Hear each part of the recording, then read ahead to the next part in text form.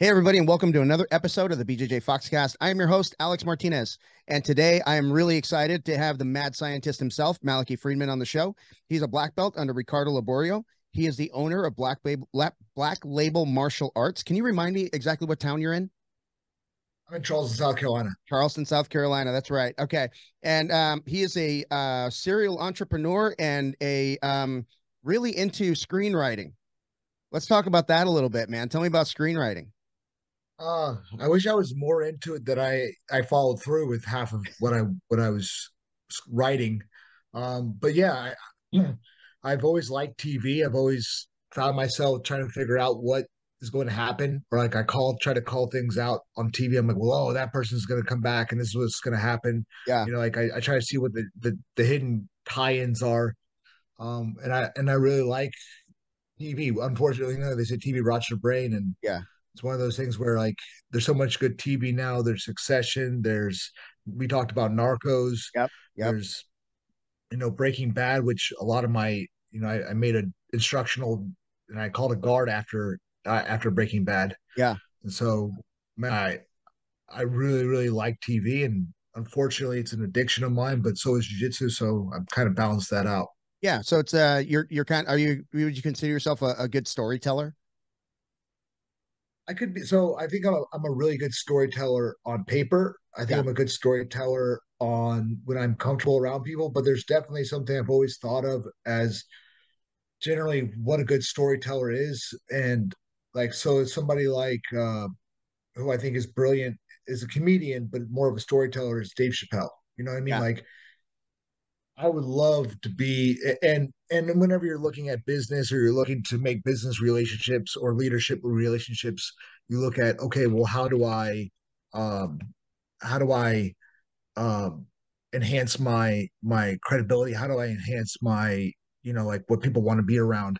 And I think that I I, I need to learn how to speak better you know what I mean, and, and flow with a story better, so I can tell a good story to people that are already used to listening to me. Yeah, yeah. You know, yeah. they understand my patterns and they understand if I'm like stuttering through something or if I'm if I'm using an F word in place of something else.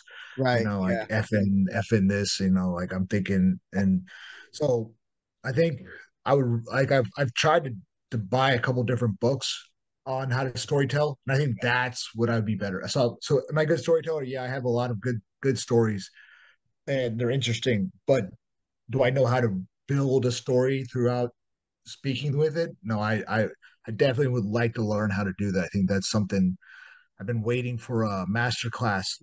I, I bought master class one time and I've been waiting for them to like have some kind of like they have all the skills in the world except the skills I want to learn.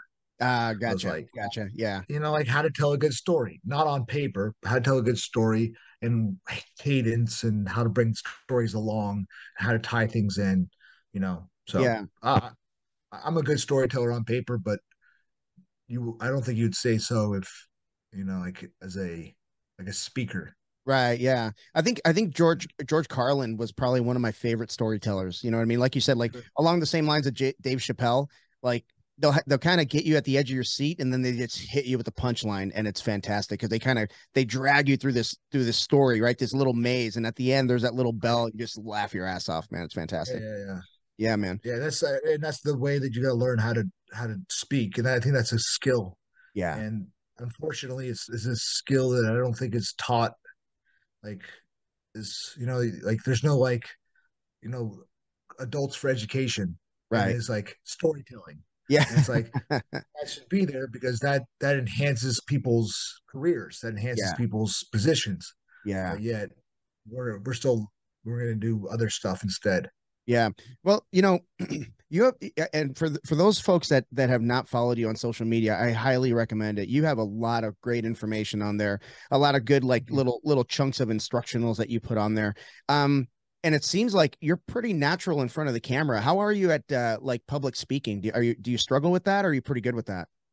Oh, I mean, there's always a so I, I do a lot of like women's self defense seminars. I've done I've done I've I like a lot of people are not going to believe that I'm I'm somewhat introverted and I'm somewhat have a nervous, you know, belly mm. um when it comes to but um you know, I, I take to a lot of like things like MMA and things like fighting or stuff like that. It's like, yeah, you're nervous. Yeah, speaking doesn't come exactly natural. Like it's not doesn't just like like yeah, I can't wait to get in front of these people and speak. I can't wait to get in front of those people and speak.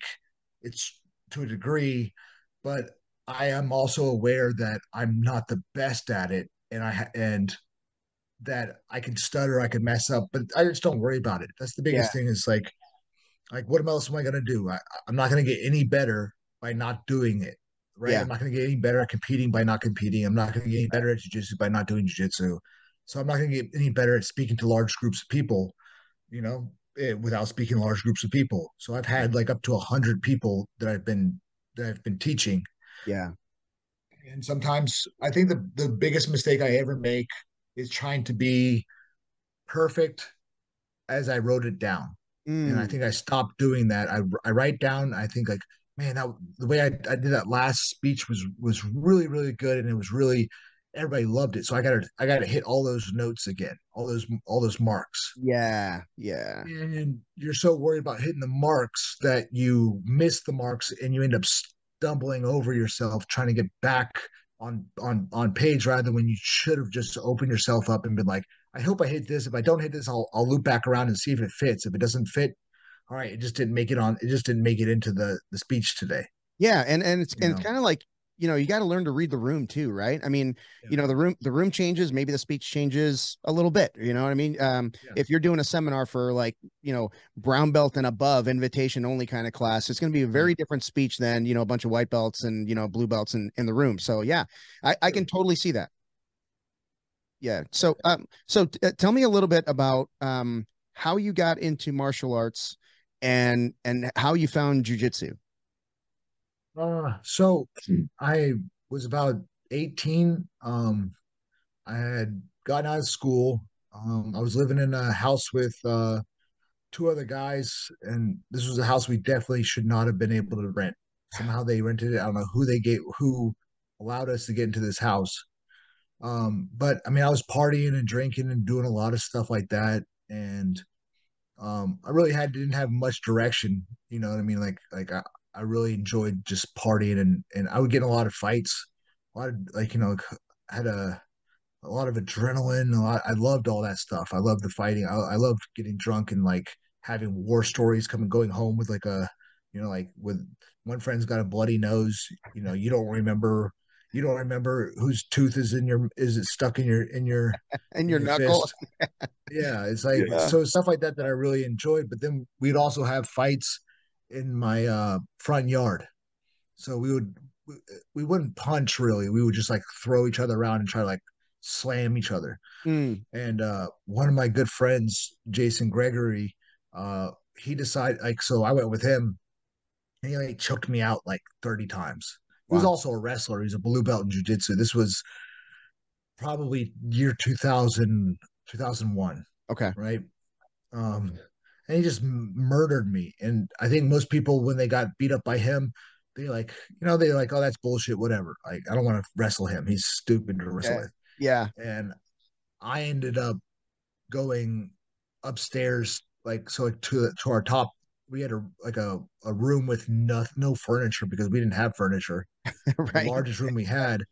And we would wrestle on the carpet and I would get like severe burns all over my my knees and elbows and I'd like yeah. tie uh, rags on my elbows and knees because I'm bleeding through on the carpet. and I mean, he just beat me up a bunch, and then he took me to his school, and the school was very, very small, and there wasn't really any direction with yeah. the school. Um, you know, like so I I would go there, train, go out, drink, party, fight a little bit, get into some like challenges with with a couple friends or acquaintances. And at some point I was got in trouble for couple fights that happened. Um and I was like, I'm gonna go to jail. This is it. Like I know I'm going to jail. Like this yeah. is gonna be this is gonna be like this is gonna be jail or dead. Wow. Um and I decided to move to Oregon as and start an MMA fight, start an MMA, become an MMA fighter. Um, and that's what I did. I moved far, far away, and I made sure that I couldn't come home. You know, I had I had done this previously. I'd moved out and left lived in a gym somewhere like about two hours away from me. Wow. And I it was very very rough the way that that gym operated and the way it was and just the living circumstance of living inside of a gym. Yeah. And yeah. so whenever I wasn't able to stay there anymore, I moved to Oregon and I met a lot of great people and I just reconnected with one of those people. I have a uh, we're doing a huge MMA website, instructional website, huge. Dennis Davis, he's um from he was Team Quest Portland, Oregon, um, and he's now the head coach of Xtreme Couture. Okay, and uh, me, him, and a guy named Joachim from Sweden, Engberg from Sweden, we put together a, a team of of coaches that are building instructionals and build and like breaking down the highest level of, of stuff so I've been able to keep relationships from you know from my very very very beginning days of MMA. Um, and I moved around a bunch. You know, mm. I went from I went to Oregon. I went to the bus, and I didn't necessarily wanted to didn't want to be a jiu-jitsu fighter. You know, I mean, I didn't want to be a submission guy. I was I, in my mind, I wanted to be like you know like Chuck Liddell type dude. Yeah. You know, like yeah. knocking people out. But when you go to Oregon and you don't know how to wrestle, you're going to be put on your back a bunch. And so, guess what? You learn how to play guard. You learn how to do all the jiu-jitsu stuff. So that's what I ended up doing. I ended up gravitating towards that. And then I did a bunch of moving around. I, I, I mean, I, I, trained with some really, really, really high level guys. I've, I, you know, been in some big rooms. Yeah. Um, I went to Florida. I think my, my final, my finale was I went to, I was with Evan Tanner. Evan Tanner was my coach. He was also the UFC middleweight champion. Um, he had a huge drinking problem during the time I was with him. Uh, but we kind of like a Rick and Morty type, you know, thing where like, like it, it couldn't be any more more like Rick and Morty, you know, like in the spaceship where they're, yeah. you know, like yeah, I'm I'm just brought along for the ride, and he's drunk and and and taking us to like to go do crazy shit and wow. you know fight, learn how to do this, run up a mountain, whatever we were doing and then I ended up moving to Jersey for a little bit. Then I went to back home to Charleston, got a job coaching there, and I decided that the that the team was, at least the organization was very very uh, immature, not ready to have. So I then I got offered a spot in America Top Team. I went to America Top Team, got met Ricardo Liborio, um, ended up getting injured and becoming a coach. So wow. and then I moved here and I moved back to home in Charleston. What What do you think you were looking for? child. Oh, nice, man. Huh? So, so uh, at what point did you get married? Uh, uh, in in that when while you were moving, did you meet your wife and and, and met, met my wife in, in, in Florida? Oh, okay, okay. So that yeah. that's kind of like that was kind of like your mainstay, right? Before you moved back to Charleston. Yeah. Yeah, I stayed in Florida since two thousand and six, two thousand seven, maybe two thousand seven. I went to uh, it was right around the time, right before Mike Brown won his his WEC title against Uriah Faber. Yeah, yeah. So. What and what do you think you were looking for while you were moving around to all these places? Um, I mean, I always had good good things going for me. I mean, when I went with when I was in Oregon, I met Evan. Evan was you know, like a, a, really good friend of mine. Became really, I became became really, really close and attached to him. And I really trusted him a lot. Um, we moved to, to Vegas while he was going through uh, some of his trouble. Um, and we lived with a really, really nice lady who I think he was dating. Um, I mean, there's there's things were said that she wasn't dating him or something, but mm. they definitely had a relationship of some sort. Um, and then so I'm living in Vegas, and then he goes, we go back to Oregon, and uh, he wanted to do a youth thing, like so, like he's you know he's a bit crazy. He wanted to do a youth thing where he where he wanted to get a bunch of troubled youth. He wanted to put them in his garage. He had a huge garage, and he wanted us to live in the garage too. And at some point, I just thought I was maybe maybe I was wrong, maybe I was right. I thought I was above that. I didn't want to be around troubled youth that could slip my neck in my sleep. I'm like, I don't know what, what you're thinking, dude. Like, you know, yeah. what, what what we're talking about, schizophrenics, you know, like liars, right. cheaters, stealers, like, you know, like like yeah, we're not the greatest people. Like we weren't the greatest people, me and Evan. You know, like mm-hmm. we we had we had that's the conversation we had. It's like you know we're not much different than these other people where we come from. Yeah. Somebody just gave us a chance. But if you put enough people in a room of liars, cheaters, thieves, and and stuff like that, sooner or later you're going to get you're one of those guys is is not going to get rehabilitated. They're not yeah. going to find their passion. They're just bad people. Yeah. And I think that was our break. I kind of like our break was that I didn't want to be there during that, and he thought I was being a real piece of shit for not, you know, like not not living up to what he I think envisioned. Yeah. Um, and what we talked about. So yeah, maybe I backtracked a little bit and was like, "There's no way I want to be around this like 16 guys. You want to put 16 guys in a house?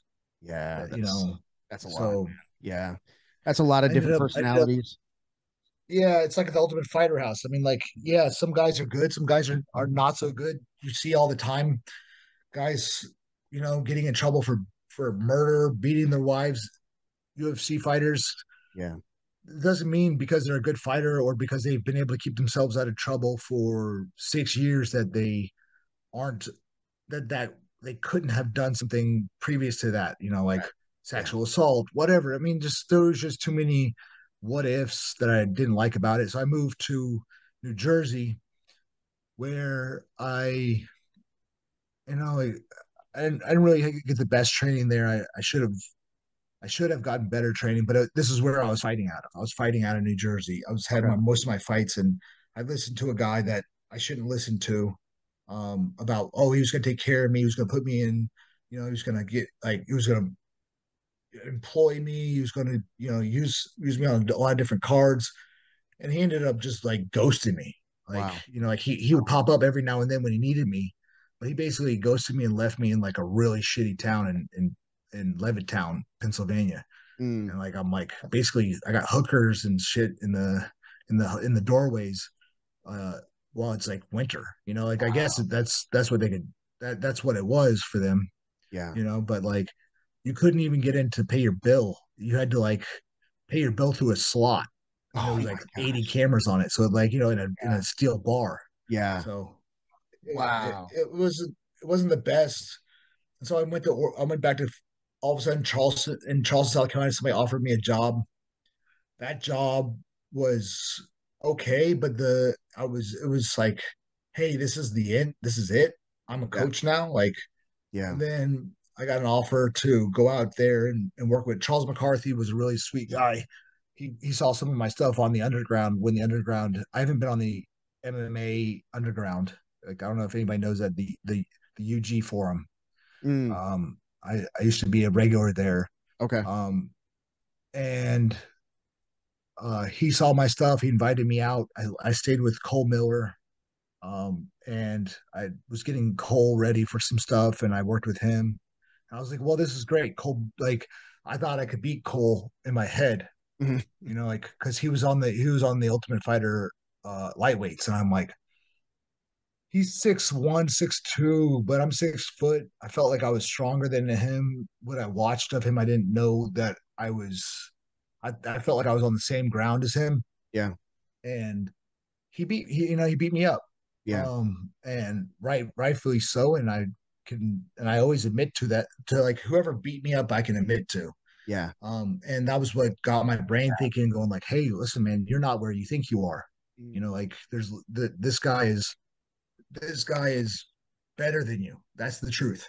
Yeah. And either you're going to be around people that are better than you and you're going to get better or you're going to not. And I ended up moving to Florida. Wow. Yeah. Wow. Okay. So, um, how old were you at that point? I want to say I turned 25 in Florida. Okay. So I was 24. Okay. I turned 20. I know I turned 25 because I remember thinking I'm a quarter of a century. yeah, but you're still in your prime, right? You're still in your prime. So yeah, yeah, yeah. yeah. So um, yeah. So, so you know, going back to uh, the the guy that was um uh, uh, the guy in New Jersey that was managing you, is that pretty common for guys, you know, coming up to get, you know, get caught up with people who don't have their best interests in mind when it comes to the fight game? Or, I mean, how do you, how do you mitigate that? Like, how do you, because I mean, I, I, I think, you're looking for a break, right? And some people just promise you. We're looking for man, like so. Listen, everybody tries to pretend that MMA fighters are so valiant and they're such hardworking people. Hardworking people are those that, I mean, I guess it's just two different kinds of people.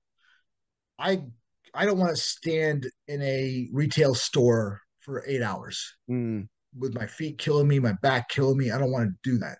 Yeah. I want to fight and I'm I don't mind getting beat up for three or four hours and like and loving it compared to doing something that to other people is more is better. You know, yeah. like so like yeah. But if you're an MMA fighter, you know, a lot of people like, you know, I sacrificed for this, I did this for this, I did this. Yeah, kind of, but this was better than everything else. Right. Yeah.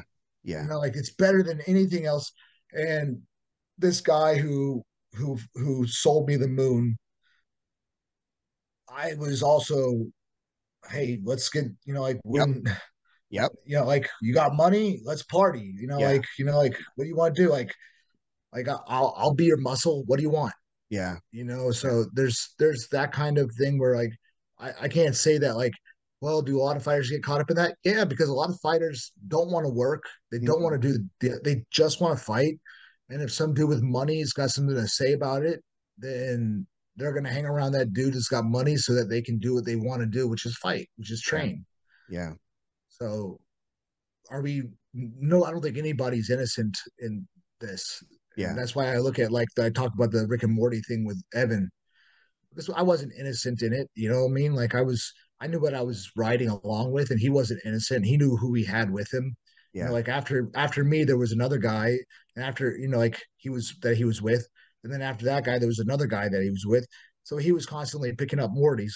Yeah. And you know, like, but I, you know, he's is he innocent? No. Am I innocent? No. I knew what I was. I was riding around with the world champion.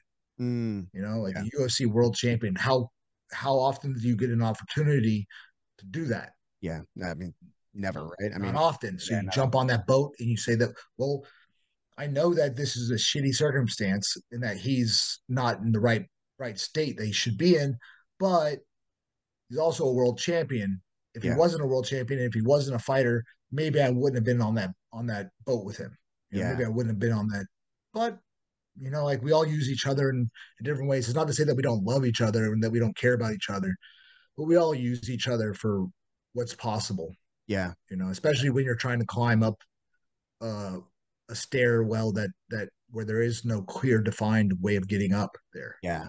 Yeah, that's true. Yeah. I mean, it, it's it's kind of like I mean, there's kind of a roadmap today, I guess, but I mean, back in you know early 2000s, I mean, everybody's kind of make trying to make their own way, right? Because there wasn't really, yeah, yeah there wasn't really a roadmap.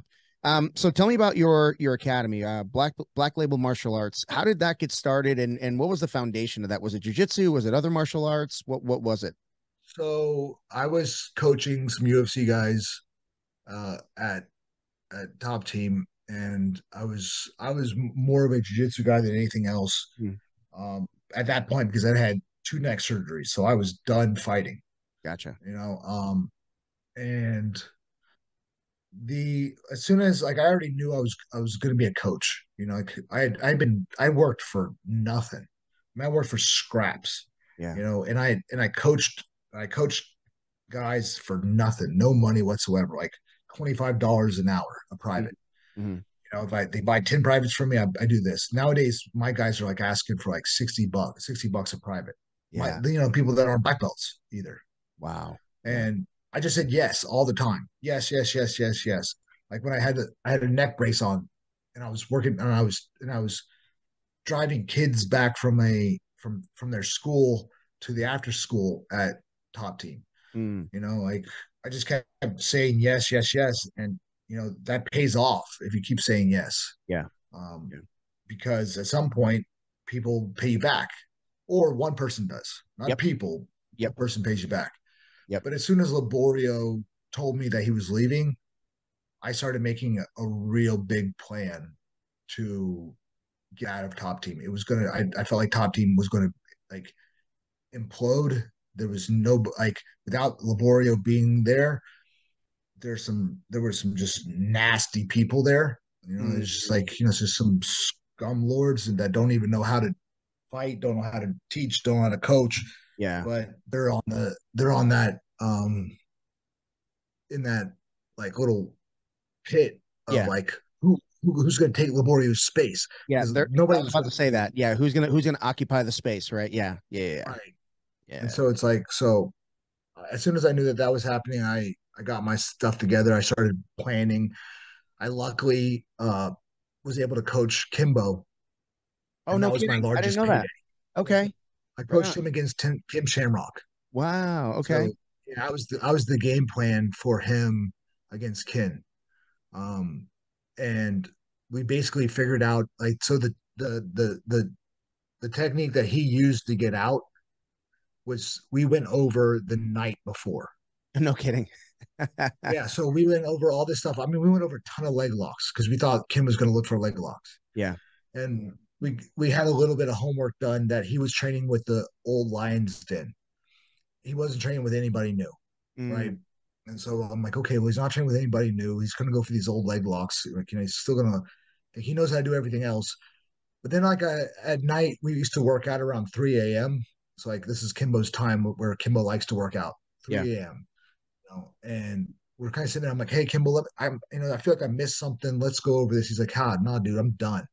We're done. The fight's happening. I'm done. I was like, well, man, I really feel this way about something. He's like, I said, what about this?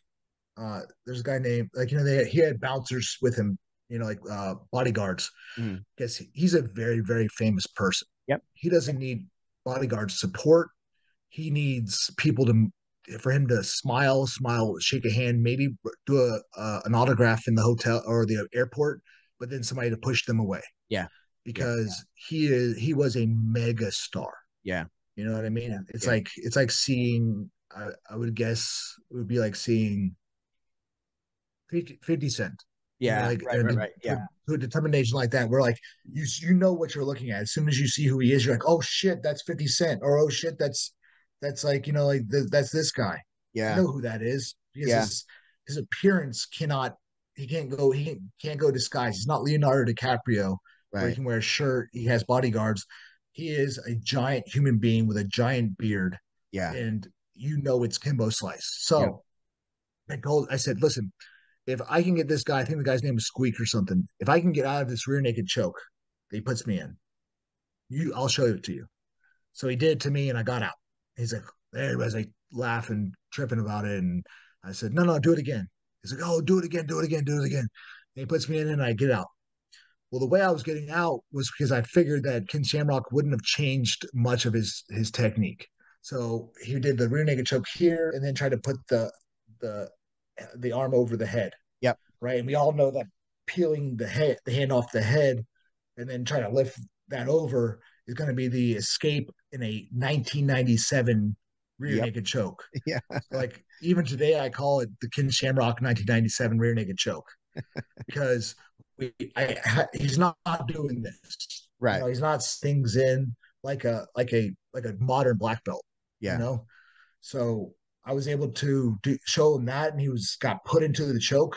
He got out, then knocked him out, and then he he doubled my so my pay was only like two point five percent of something, which is okay. a lot, yeah, compared to what he was getting for that for that fight. Yeah, um, and it doubled my pay, and it gave me enough money to move some money around and be able to open up a school. I found a perfect spot that didn't ask for too much the old dance studio. Yeah. And just from there was that's how it just kept going. That's awesome, man. That's a freaking cool story.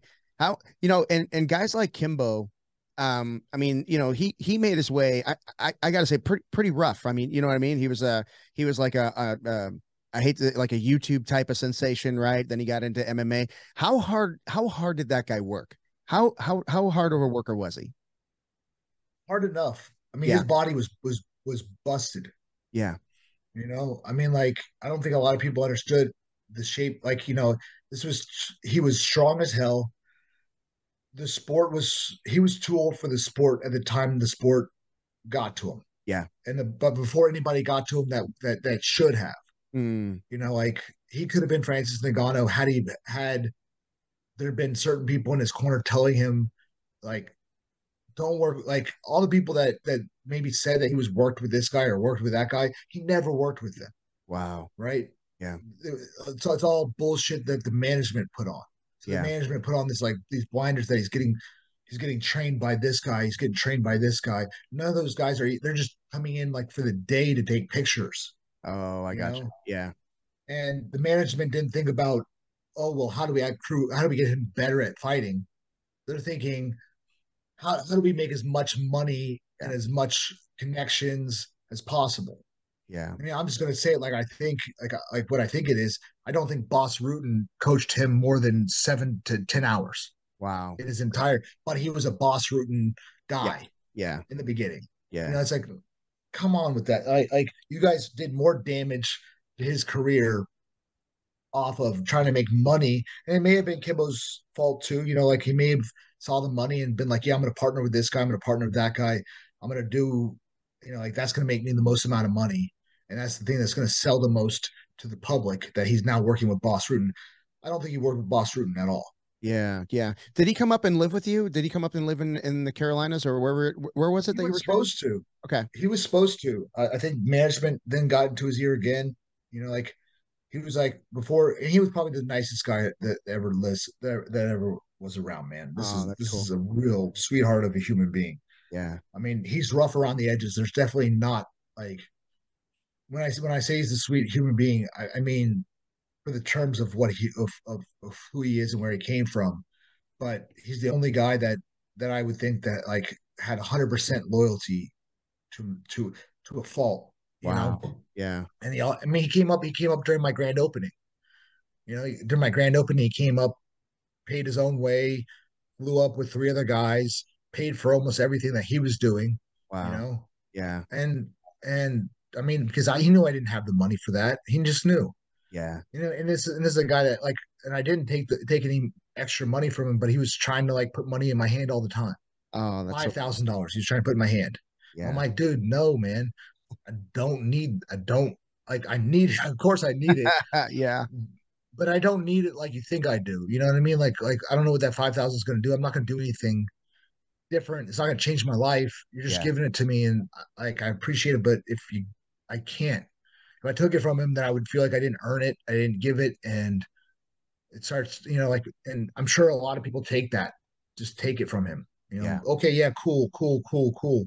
Yeah, I, I, said I told him like you know like no, when you have another fight, I'll I'll coach you and and you can pay me for that fight Then he had that one fight with Dada, and then he had the heart heart disease and the heart problem, and he died.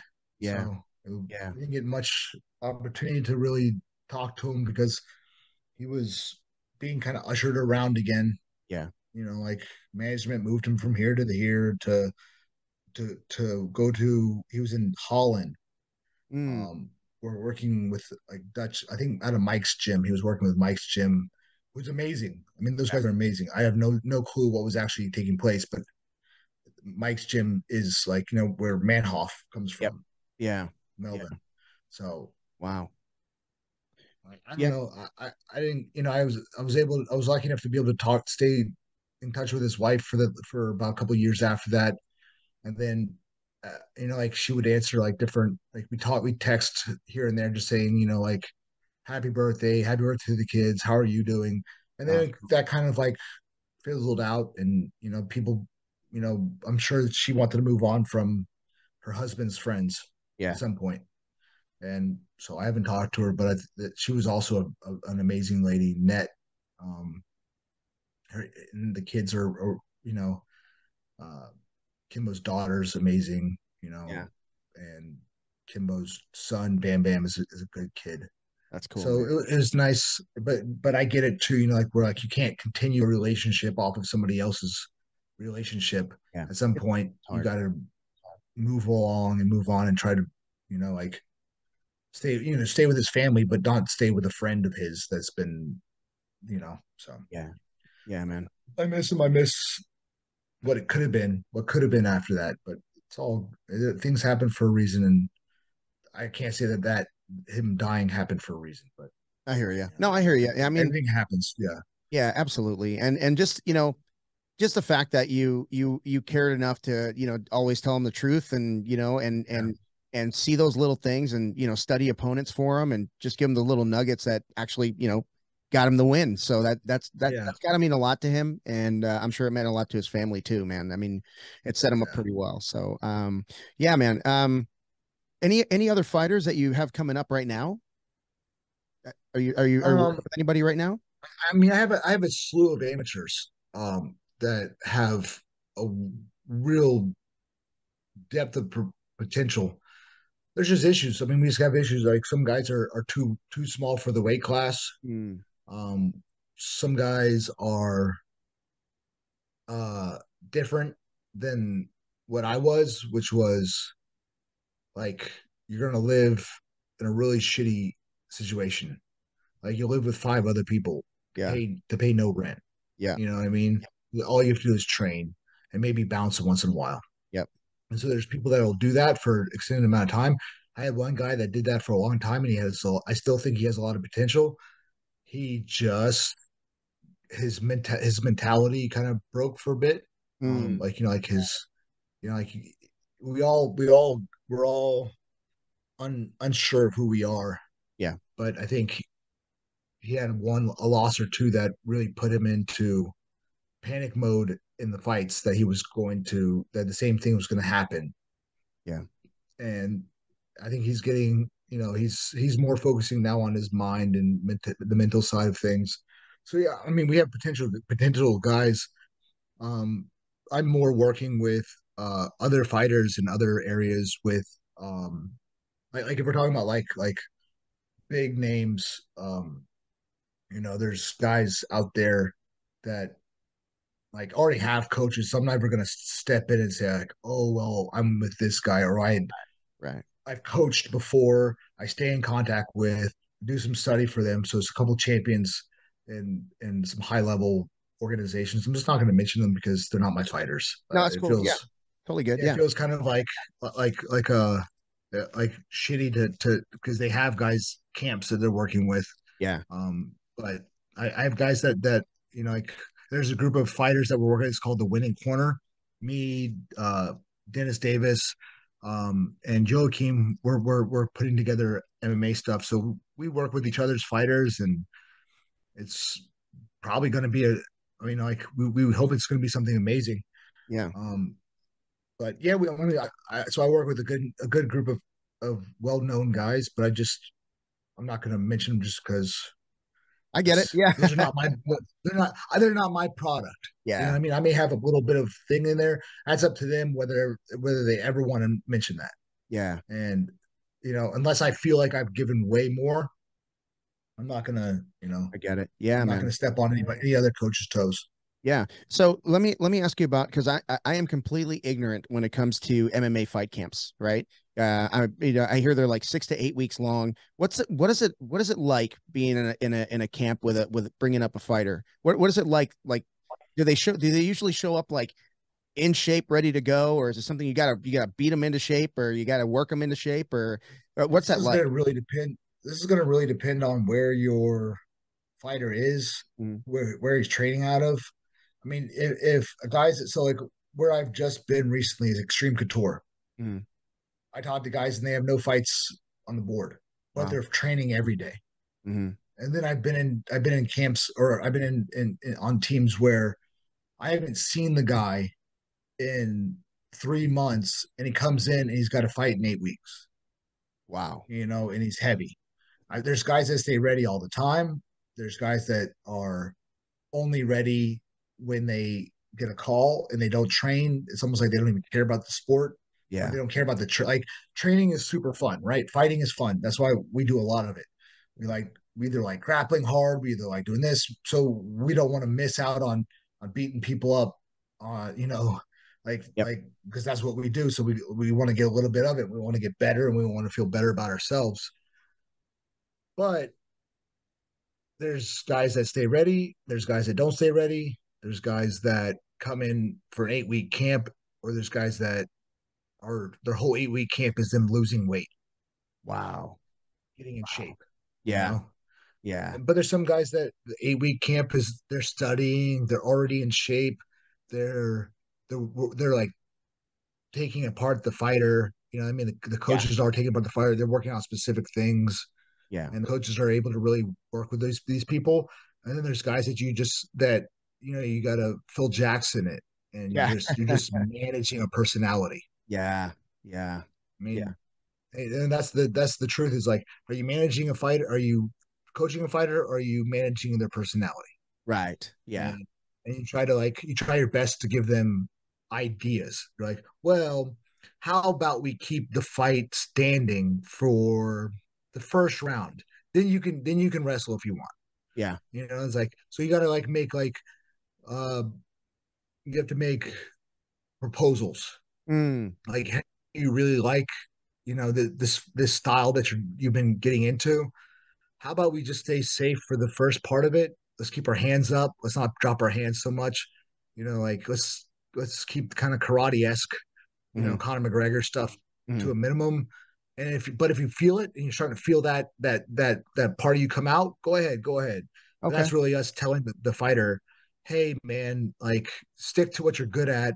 If you want to, as you're if you're doing well, open up and and play around a little bit if you feel that because you don't want to tell a fighter to to stop something right. because yeah. it's a creative thing, right? So it's like you just you're just trying to you're just trying to micromanage this guy's brain and his ego. Yeah. Yeah. No, that's there are some fighters that have zero they have zero brain, just ego, and they are are a wreck because all they're doing is asking you how to fight and you're like shit dude you don't know how to fight like you should have a good a good idea of what's going to happen in this fight, like I I'm gonna help coach you through it, but you can't ask me every worried question on earth. Yeah, like you're like going guys like, well, you know what, this guy, I think this is gonna happen. I think this is gonna happen. I'm like, all that shit could happen. Yeah, every single thing that you say could happen. Yeah, let's or prepare for the things that are most. Yeah, yeah, or let's prepare for the things that are most likely going to happen. Yeah, we prepare for that. Then we prepare for a few special things. Then we get ready. We, we get we we try to make the, this guy fight you where you're best. Yeah, yeah. That's that's and that's it. Yeah, that that's ideal, right? I mean, that's that's the best way to go. Yeah. But but tell me about you. Tell me about um how do you get that competitive fix? How I mean, you know, coming from an MMA background, it looks like you're doing more uh gi jiu-jitsu than, you know, anything else because that's what I see on your on your social media. Um kids. was that? competitive mix for my kids. Yeah. so I have a, I have a, a crazy, crazy good kids team.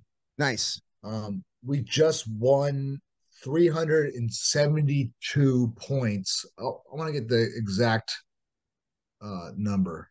Let me hold on, see if I okay. can't pull it up. Yeah. So new breed Savannah. So we went we went to another town. Um we were about an hour and a half away from us. And we just Rex shop there. Nice. We and we did that last year. Last year we did the same thing. We did four four different cities. We we we we basically took over. Um, so our kids team. Here we go. Our kids in a different town. We our best youth academy. We had 319 points Wow. 74 wins and 44 losses. Right? That's awesome. The next the next academy under us was 123. That's not even the, I'm I'm looking at the wrong event. Hold on. That was the that was that was that was last year. That oh, was gotcha. December 9th. Okay. Hold on, let me get the the dang the one that's that one that just happened. Yeah. Because past events should be March 11th. So that was that that was our last one. Yeah. Right? Wow. This is this is so this is the one that we just had. Where's this result? Let's say top list.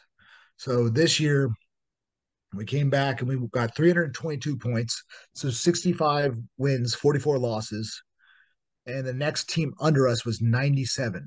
Wow. We had two adults compete, right? Two. Yeah. Yeah. And we got 326, so we only got four more points, but we were the overall champions, 326 to 122. Wow, that's awesome. That's that's a good Yeah. showing, man. Yeah. Yeah. And and So- how many how many kids do you have in your program? Not not competitors, but just kind of in general. In general, I would say 60 to 70, maybe Okay. more. Okay. Yeah. That's that's a good sized kids team. I mean, yeah, I mean, like, so I would say probably, well, no. So I'm thinking about every kid that signed up and every kid that comes in, so we're we're we're over a hundred for Okay. sure. Yeah. Um, Yeah. But it's it's like I I think you know, and that's not that's just including jujitsu. So we have some kids that just fight, just do Muay Thai. Okay.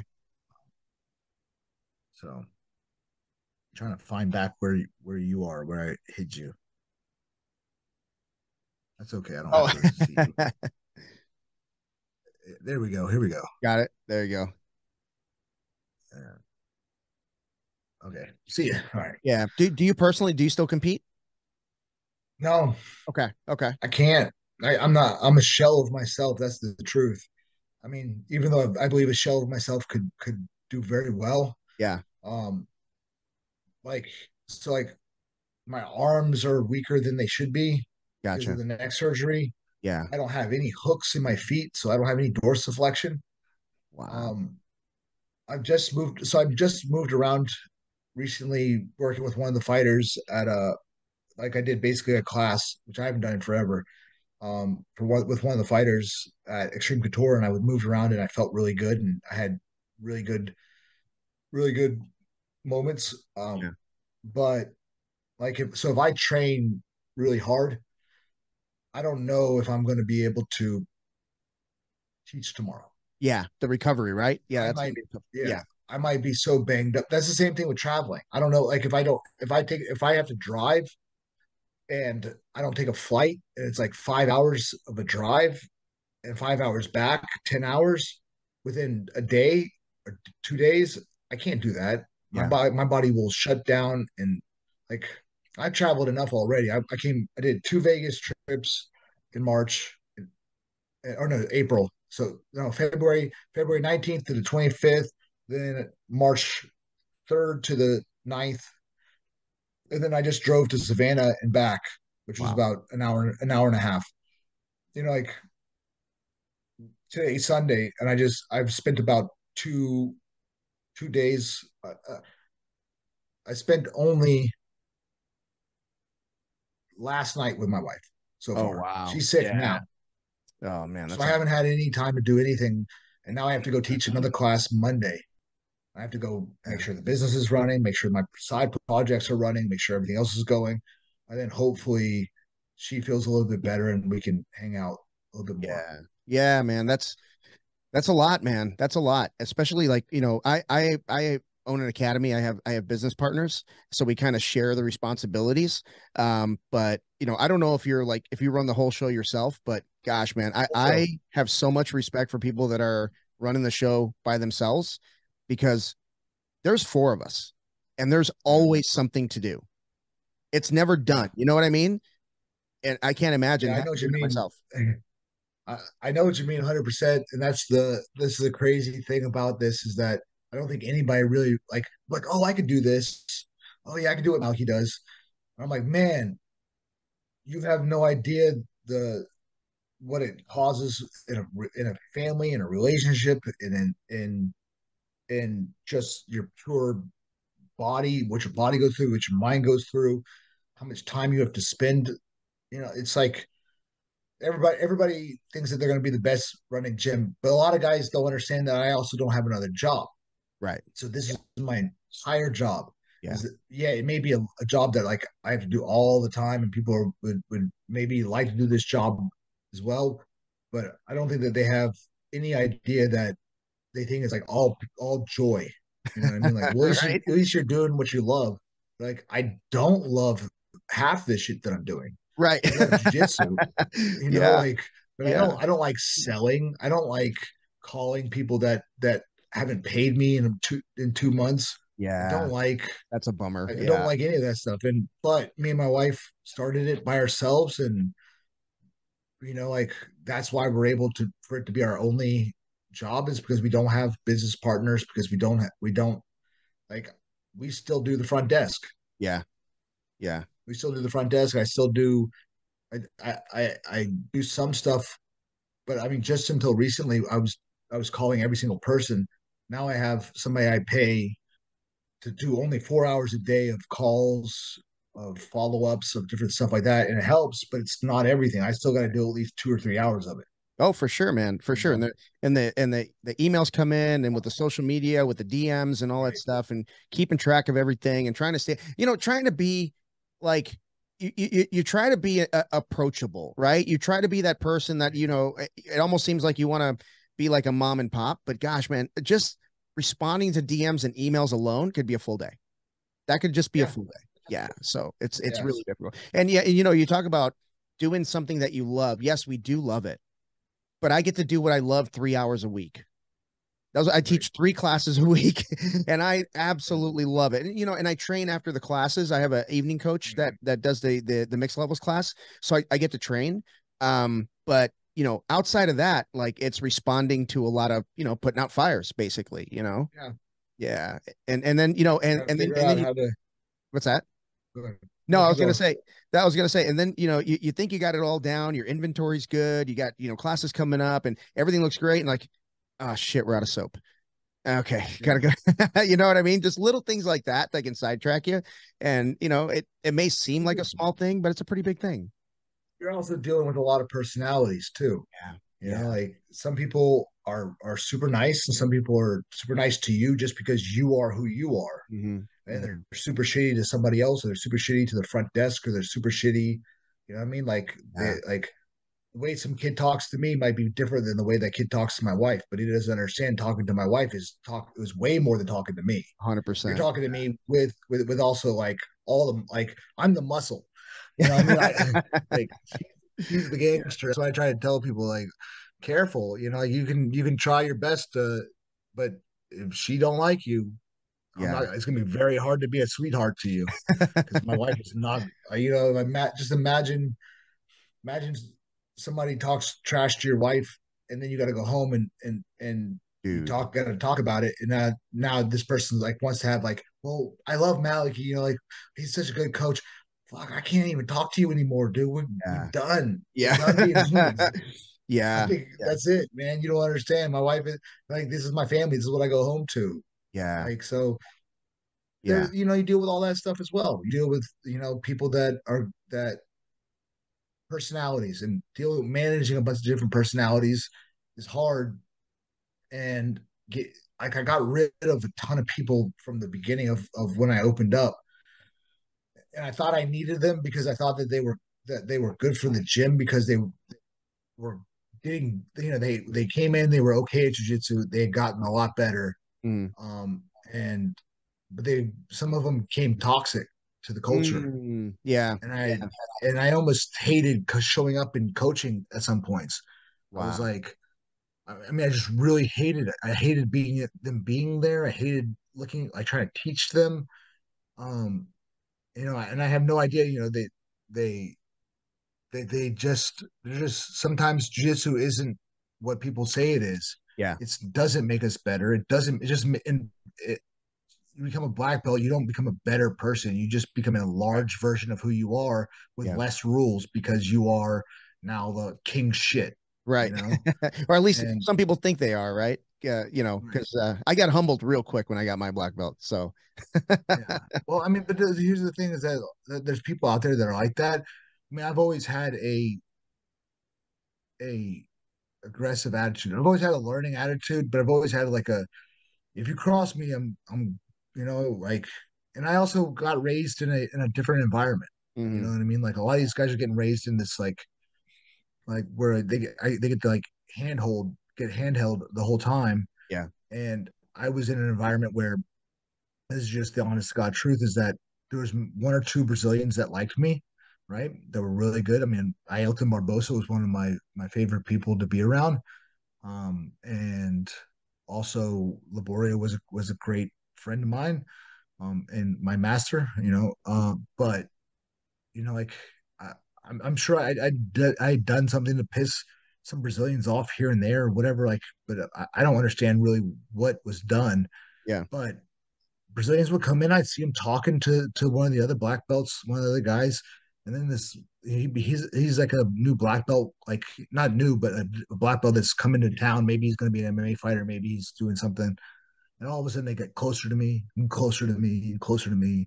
And then I know that I know that this this match is going to be like the world championships. Oh yeah, you know, yeah, like yeah. you know. And then then if I beat then if I beat them, they're like, oh man, my fingers hurt. You know, like and I'm like, I go like this. I go, yeah, yeah man, my yeah. neck surgery was eight months ago. Yeah, like, yeah. I can't I, I can't feel my fingers. Yeah, man. Wow. Yeah, but, that's but wow. that's the kind of environment that that sometimes you're not like, and that's not to speak poorly of anybody, but it's a cultural thing of like, who's this gringo gringo black belt? You yeah. know what I mean? Yeah. And some of these guys don't like them, so like they they'll try to set set them on you. You'll know it right away. And Ailton, who's a Brazil, who's a Brazilian guy, would always kind of like, "Hey man, be ready. This guy's gonna try to take your head off." Yeah. I'm like, okay, cool. It's yeah. like, yeah, this they're that's they're already talking about it. Wow. That, you know, it's like like not only that are they are, are they going to try to beat you in jiu-jitsu, but they're going to try to hurt you. Oh god. You know I mean, so you okay. you got to be on the point. You got to be on point so much that that if they if they're going to catch, they, they can't catch you. If they yeah. catch you, you can get hurt. You yeah. know what I mean? So like, so not only do you have to beat them, but you can't lose at all.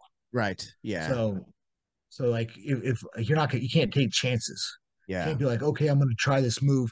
It's going to open me up for this. It's like, no, because they could break your arm and they're, and they're going to try to, you know, yeah. like that's so that I got brought up in that environment. And then people get brought up in this environment and they think that they're the same. Yeah. You know, it's like, very so different. it's very different. Yeah. It's, it's, and, and not to say that I, that, that those are all bad people. Those are just people brought up in a different boiler pot. Yeah. You know, like, yep like I was brought up in a different boiler pot than other people were. Yeah. And I can usually sniff that out when that happens or when somebody's being a little bitch. On, yeah. you know, and like like this guy has no idea what it took for me to get to where I am. Yeah. You know, and then he's creating a toxic environment here. I'm just gonna get rid of him. Like, yeah. Boom, yeah. Boom, gone. Now I have now I have such an amazing environment. I have such a good good vibes good. I, I enjoy everybody that I teach. My kids, I love teaching. And I'm like, I finally hit this this mark where, like, you know, like, man, thank God I did what I did. Thank God my wife had, you know, like pushed me. She was pushing me for like for like a year to get mm. rid of some people that I didn't get rid of. Yeah. And I thought that that was what was going to happen was that people were going to leave with them and it would yep. affect the money. You know, yeah. You know, I would, I, would be, and that, and that's exactly what happened. Mm-hmm. But pe- new people came. Yeah, new people came. Other people moved into the town that had already had good belts that were that were that were talented. I was able to work with those people. A lot of people stayed. Yeah, tons of people stayed. Yeah, maybe nine people out of out of 250, and then I went up to to around 400 students. Wow, four nice. four something, 420, 450, something like that. Beautiful. I doubled all my my students because the culture was so toxic there. Yeah, that I, that I thought that that losing 10 to 12 students was going to put me at you know like how much cash I was going to lose like yeah. that's that's at minimum probably 12 to 20 thousand dollars. Yeah. Yeah. Right? Yeah. So I go oh crap 12 to 20 thousand dollars is a lot of money. Right. You know like I don't want to lose that. And then I didn't realize I was going to make I was going to make probably 60 to 80 right. Yeah. Getting rid of that problem. Yeah, yeah, man. And you know, that's and, why people people right. can't understand what, what you're saying with the business. They can't understand that you're going to make those decisions, and it's going to sometimes it's going to look really, really bad yeah. for you on paper. Yeah. It's because it's yeah. your livelihood. Yeah, and they go, "Oh man, this is going to be bad for me," and then it's not, or sometimes it is. Sometimes it was the wrong choice, yep. and you, it happens. have to live with that that that money that money decision. But yeah, those are the hard things that people don't understand. Is that, that you're doing jujitsu, but you're also looking at the pay at the at the dollar signs at the end yeah. of it because you have to pay yourself. You have to pay your your bills. You have to pay the overhead. You have to pay everything. Yeah, and you also have to keep your family, you know, yes, financially financially okay. Yeah. So. And you know, and that's something that like um, you know, people come in and you know, some some of my best friends came out and and started training with me. And not one of them I call them my best friends because not one of them asked for a discount. They just paid because they were supporting me, and that's awesome. But then you got people that walk in, you've never met them in the in your life, and they're like, "Well, maybe we can work a deal." I'm like, I don't even know you, dude. Like, what do you mean work a deal, right? Um, but you know, a lot of people don't understand. We're not just trying to keep the lights on at the academy. We got to keep the lights on at home. Like, we're literally taking care of two houses, right? With that yeah. with that one source of income. And um, yeah, it, it's it's a little, you know, and, and you know, in, in, their defense, you know, people's defense, they don't understand that piece, right? They're they're not entrepreneurs. They don't understand like, you know, when you're when you've got X amount of dollars in in in uh, in uh, you know payroll coming up, and you only have half of that in the bank. You're like, holy crap, we got to make some money quick, right? And that's pressure, mm. right? That's pressure. So uh, they don't understand right. that kind of pressure. So I don't fault them, but it's something that we got to deal with. Yeah, yeah, man. Yeah. So it's, um it sucks. It's unfortunate, but it's yeah. But, you know, like that that's life and and you hope at some point to put people in charge of something like that that where you don't have to look at that. You can just manage the manager. Yeah. But that takes a lot more money. Yeah you know it does I mean? like yeah. it takes a lot more money. You got to make another decision to open up bigger. Are you going to do a bigger school or are you going to do another school? Yeah. Is that going to is, is the other school going to drag your ass down with it? Like right. because you did you weren't ready. Yeah, that's my fear, man. That's my fear opening multiple locations and you have um you have a school that's struggling that's being funded by the one that's not. So it's I mean, got to make a it's going to be a tough decision to make at that point, you know. But are you going to do it or not? That's the thing. Are you going to hire a manager and get less stress? Right. Or are you going to or are you going to own another gym and get twice the amount of stress? Give me one second. I'm going to get a plug just so this doesn't turn yeah. off on us. Yeah, no worries. Yeah, yeah. Take your time we're we're we're getting we're getting pretty close to the end of it. I'm I'm kind of up against it on time. I've got another commitment this evening. Um, my uh my mother in law does um uh, a pizza night for um you know for birthdays, so doesn't always nice. land on the birthday day, but it's kind of cool. You know, get together and get your mind off of things a little bit. But listen, there's right. two two things I want I wanted to ask you, and um, sure. so the the the first one is um your the your your lineage the the black belts that are under you what what do they have or what do they all have in common and what would you want all of the black belts that you that you promote to have in common um an understanding of top game top game passing um i think is something that i really enjoy and i got good at um but understanding being on top and staying on top, whether it's for MMA, whether it's for jiu-jitsu, whether it's for self-defense, is everything. Mm. Um, so like I like techniques that have exits. Like so if I go for an omoplata, I'm never going to be on bottom of an omoplata. I'm always going to end up on top. Yeah. If I'm going to get something like a triangle, I'm looking for yeah, I'll try to finish the triangle, but I'm always looking for a way to make that happen on top. Mm, okay. So passing, sweeping, everything's got to get you got to got to get off your ass and, and get back on top. So yeah. my kids do a really brilliant job of taking people down. They do a really good job of passing guard and c- controlling top top control. Um, my kids do shin over neck arm bars. So like when they like rather than like sitting back to their back, yeah, falling backwards, we all fall forwards for for our arm bar. So it's oh, like nice. a mounted arm bar. Yeah. You go forward, shin over neck, and they kind of flip and roll over. Yeah. And, and you get on top.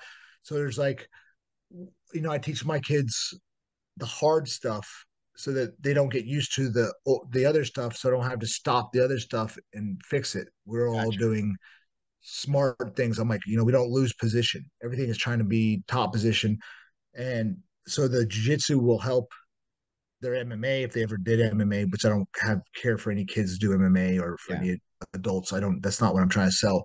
But in self defense, we understand.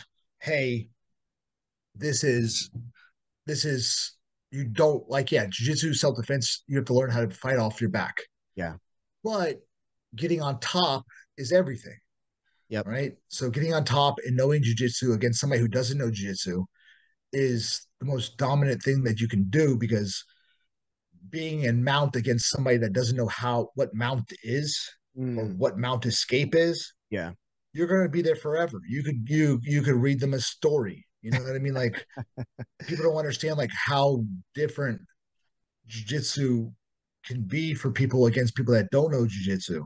Yeah. They're watching jiu-jitsu versus jiu-jitsu. They're like, yeah. well, it gives and goes. It's like watching a boxer versus a guy that's never boxed. Right. Right. Like, so that guy's going to get murdered. He's going to get tuned up. But, yeah. But in jiu-jitsu, it's a little bit different because you take somebody who like where everybody in the world can throw punches. Mm. Right. And anybody can get hit by a punch. Yeah. Even if you're good. And they can, but on the ground, if we're talking about police, if we're talking about anything like that, being on top of somebody who doesn't know what's happening is the best place to be. So we make sure that their jujitsu is just like their what would be a fight. Mm, you know, okay. maybe we're yeah. not looking for the submission, but we're looking for the dominant positions. Yeah. Um, and I think Liborio instilled that in me after I liked to do nothing but play guard. I yeah. love playing guard. Yeah. And he beat my ass one day, you know, just like beat the crap out of me. It's probably because I never, oh, I just refused to listen because I thought if I just kept submitting everybody that I win, I win, I win, I win. And right. it was just, he just showed me like, hey, some people you're not going to be able to submit and they're going to just beat your teeth in. And that's kind of Carlson. That's, that's a really big Carlson thing.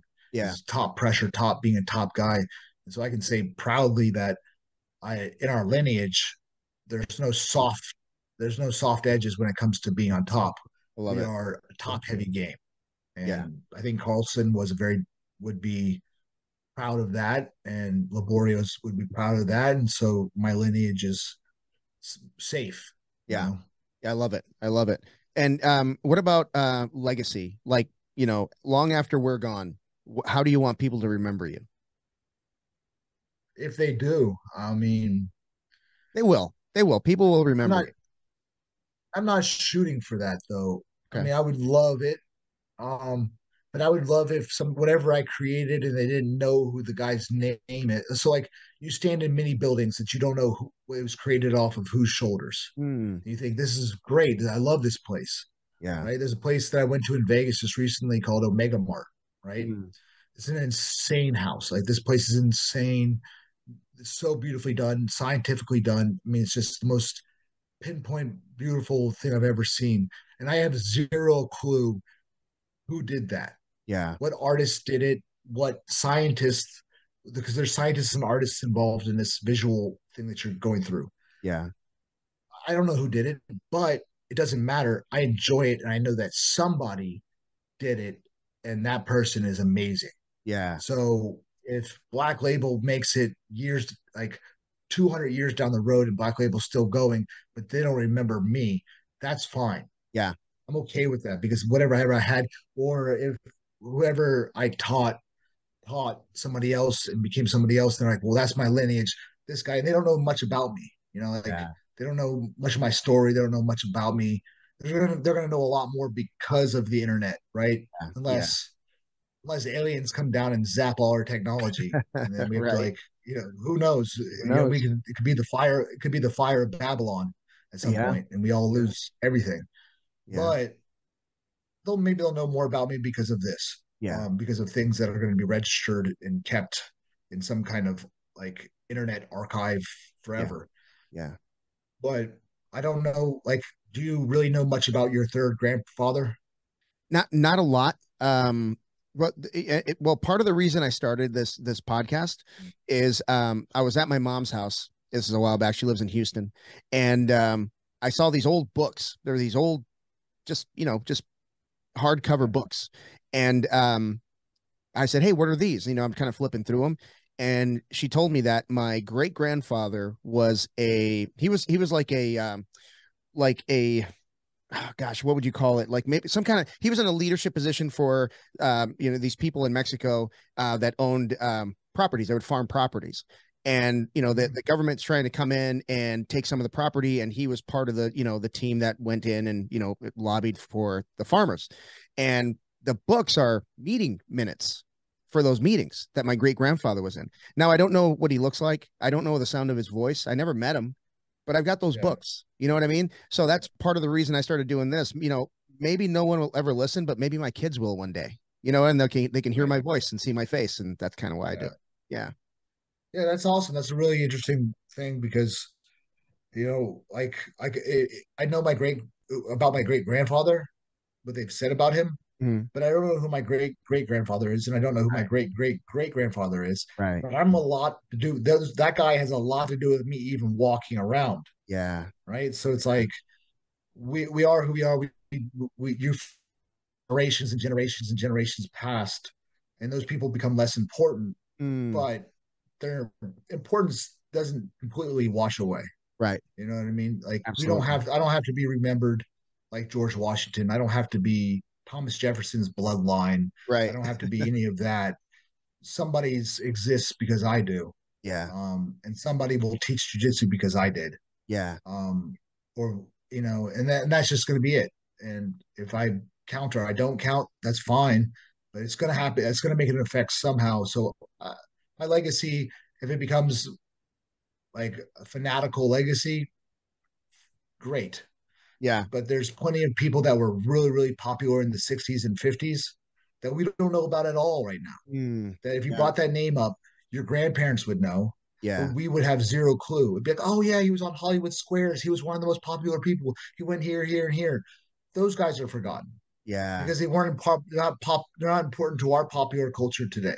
Yeah. Yeah. As important as they were. Right. Oh, that right. no, that's that's in, that's an interesting way to put it. No one no one's put it that way. That's that's really cool, man. That's that's good. That's good. Um, well, listen, uh, I'm kind of up against it time wise, but I just want to make sure people can find you um, uh, on on social media and whatever. Uh, how how do people find you? So uh, at Malachy Friedman is my Instagram. Um, then MalachyFriedman.com is my uh, subscription website, but I'm also creating a new subscription website that's going to be like looks like Netflix kind of. Okay. Much better than where I am now. And I'm in the middle of building that website. Um, so that'll probably be in a week and a half. It'll be done. Is that going to be app? Keep the same name. It's going to have an app too. Yeah. Okay. That's, okay. but that has that's a whole nother headache. So just the website and the and it being available on mobile. Gotcha. So that's that's that's the number one. And then I'll worry about the damn app. Um, and then uh yeah, like anybody can find me on Facebook. I mean, if they can spell my name, they can get to me. Right. Yeah. Uh, you you want to spell, so you, you spell your first name? Yeah, it's M A L A C H Y F R I E D M A N. Got it. Got it. Malachy Friedman. Right on, man. Well, listen, Malachy, thank you so much for being on, man. I I thank I you. found you. I found you on Instagram, and like I I got it. I got hooked. I got hooked on all of the content that you put out. You're very generous with your content. Thank I really appreciate yeah. it, man. Yeah. Yeah. Do you do all of your own editing just out of curiosity? I used to. So up until February, I did all my own editing. Okay. Now I do not because I I had gotten to 25,000 followers. Yeah. And I was putting out new content all the time, like techniques that like nobody like I just make up. Yeah. And I'm like expecting to see it hit home runs. And I got to a point where I was just like, man, I'm like barely moving. Yeah. Um, and I let somebody else take care of it. Now I'm at sixty, like close to sixty thousand, like within two months. That's awesome. They do much better. Take, you know, it's like they they know how to grab people's attention. Blah blah blah yeah. blah blah. Yeah. Um, if you guys are interested in bumping up your Instagram, DM me as this guy named Kyle, and he's amazing. Awesome. Um, and he's the reason why within a month and a half that I have, I've doubled my my my following.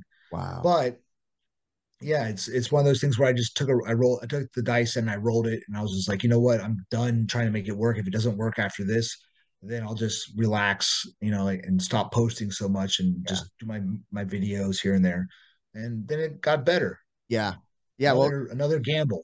Yeah, man. Keep doing what you're doing, man. You're doing a great job. I wish you all the luck in the world with the new website and um, the um, MMA instructional website as well. That that's coming up, man. I'm I'm really excited. Amazing. yeah. Yeah. The hey, winning corner. The winning corner MMA. That's that's our thing on Instagram. It's just getting started for our Instagram, but when we put out this website, there's going to be nothing like it. Like we've gotten so far ahead of the world. Nice. Right. Man. Like that was our goal. So we yeah. we filmed over 25 hours. Wow. Wow. content to use. We filmed over 30. Yeah. 30 to 35, but we have usable 25 hours of content. Wow. You're not going to be able to get you're not gonna be able to put all this in your head. That's right so away, cool. You know I mean? That's- So we're we're way ahead. Yeah, man. I, would like to follow up with you if we could. Maybe do another, maybe do another Sure. episode in like six months to see how you're doing, and you know, get get a little, you know, help uh, any way I can help get traction on your website, man. I'm, I'm glad to do it. And uh, you know, That'd Justin awesome. Pohl, our mutual friend Justin Paul, speaks very highly of you. And when I told him you were going to be on the show, he was stoked. So I, I, That's I awesome. yeah, I wish I remembered what he what he what he wanted me to razz you about, but my- he knows he knows I can't remember anything. I don't even know where my phone is right now. So that's you know that's his fault for not following up. That's right. That's right. Well, listen, brother. Um, if you're ever in Arizona, please hit me up, man. I'd love to have you on the show in the studio. And um, if I'm ever, uh, what's that? We're in Arizona. I'm in Mesa, just outside of Phoenix. Okay. Yeah. I mean, who knows? I plan on being somewhere sometime. Yeah, man. If you're Uh, ever out here, I'd love to yeah. have you in here. Awesome. All right, brother. You take cool. care. All right, you too. Thanks, brother. Take care. Thank you.